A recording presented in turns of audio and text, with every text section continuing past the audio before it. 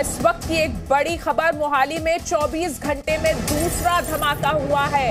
इस वक्त की सबसे बड़ी खबर आ रही है मोहाली से, जहाँ एक और धमाका हुआ है तो 24 घंटे में ये दूसरा धमाका है।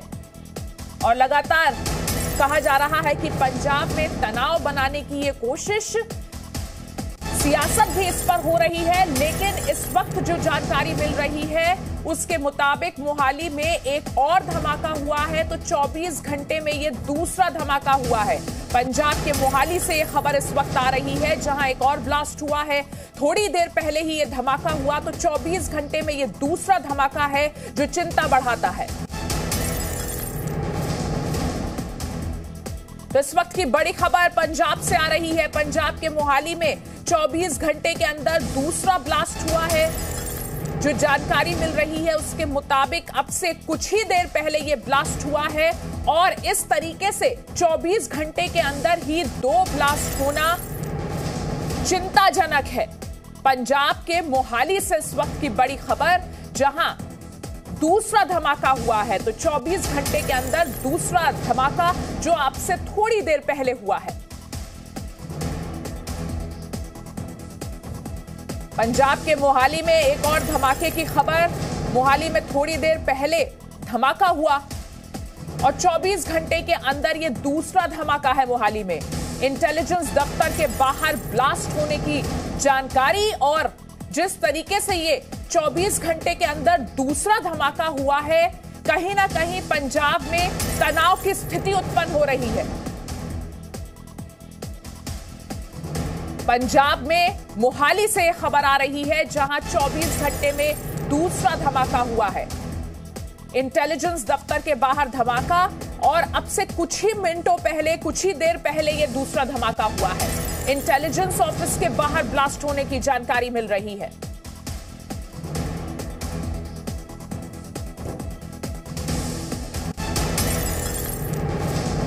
तो पंजाब में लगातार इस तरीके की खबरें आ रही हैं। सुरक्षा को लेकर सवाल उठ रहे हैं और 24 घंटे में दूसरा धमाका होना चिंता बढ़ाने वाली बात है। इंटेलिजेंस दफ्तर के बाहर ब्लास्ट की खबर। पंजाब के मोहाली से इस वक्त की सबसे बड़ी खबर आपको हम दिखा रहे हैं।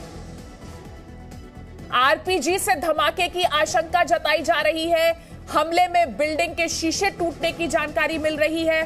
और ये पहला जो धमाका कल रात हुआ था, उसकी जानकारी हम आपको दे रहे हैं और साथ ही जो दूसरा धमाका हुआ है, उसकी तस्वीरें भी और शुरुआती जानकारी भी आनी शुरू हो गई है। तो आप देखिए 24 घंटे के अंदर दो धमाके होते हैं पंजाब के मोहाली में। कल रात जो धमाका हुआ था, उसकी तस्वीरें और जानकारी हम आप तक लगातार पहुँचा रहे हैं और आज दोपहर अब से कुछ देर पहले ये दूसरे धमाके की जानकारी और तस्वीरें।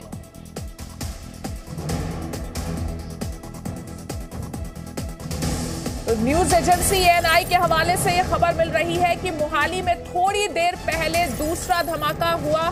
समाचार एजेंसी एएनआई के हवाले से यह खबर हम आपको दिखा रहे हैं कि मोहाली में 24 घंटे के अंदर ये दूसरे धमाके की जानकारी मिल रही है, जो अब से थोड़ी देर पहले हुआ है। और कल रात जिस तरीके से धमाका हुआ था उसकी जानकारी भी हम आप तक लगातार पहुँचा रहे हैं और इस बीच अब से कुछ देर पहले दूसरे धमाके की भी जानकारी न्यूज़ एजेंसी एएनआई के सौजन्य से मिल रही है।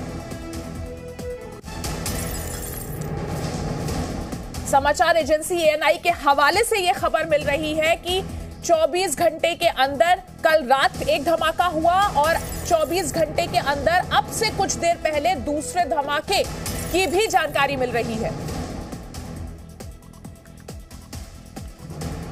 चलिए, इस वक्त की बड़ी खबर 24 घंटे के अंदर मोहाली में दूसरा धमाका हुआ है। ये कल रात को धमाका हुआ था। 18 घंटे से ऊपर हो चले हैं। अभी भी जो पुलिस के डीजीपी हैं, पंजाब के, वो स्पष्ट नहीं कर पाए थे कि आतंकी हमला है कि नहीं है, लेकिन इस बीच दूसरा एक और धमाका इस वक्त, ये जो तस्वीरें आप देख रहे हैं, कुछ ही देर पहले की तस्वीरें हैं, जब इंटेलिजेंस दफ्तर के बाहर जहाँ झाड़ियाँ हैं, जहाँ घास है, उस इलाके को तलाशा जा रहा था और उसके बाद कहा जा रहा है कि इसी तलाशी के वक्त कोई असला या फिर इसी तलाशी के वक्त जो है एक ब्लास्ट की और खबर आई है। ये आज दोपहर की अब एक कुछ ही देर पहले की खबर है, जहाँ पर पहले एक धमाका होता है। पंजाब पुलिस की बिल्डिंग पर इंटेलिजेंस हेडक्वार्टर में धमाका होता है। वहीं दूसरा धमाका अब से कुछ ही देर पहले रिपोर्ट किया गया। इससे पहले 11 लोगों को हिरासत में भी लिया गया है। पंजाब पुलिस ने प्रेस कॉन्फ्रेंस भी की, लेकिन इस बीच में अगर इंटेलिजेंस थी, तमाम लीड्स थी जो कि पंजाब पुलिस कह रही है सुबह से कि उनके पास तमाम लीड्स हैं। आपको बहुत जल्दी बता दिया जाएगा कि कैसा धमाका है। अब ऐसे में ये दूसरा धमाका किस तरीके का है, कितनी इंटेंसिटी का है, और ये दूसरा धमाका क्या उसी पहले धमाके का एक हिस्सा है जो कल शायद फट सकता था और वो फटा नहीं, कोई रॉकेट नुमा जो चीज़ थी।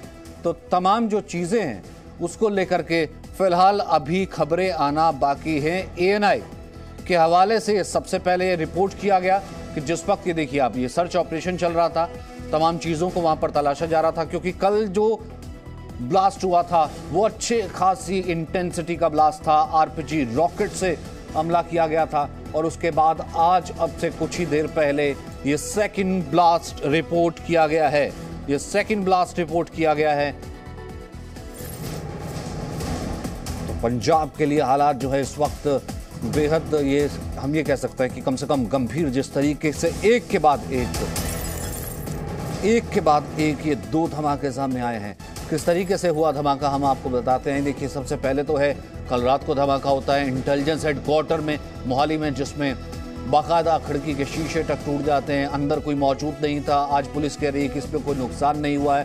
किसी तरीके के वहाँ पर पर्सनल मौजूद नहीं थे, वहाँ पर ऑफिसर्स मौजूद नहीं थे।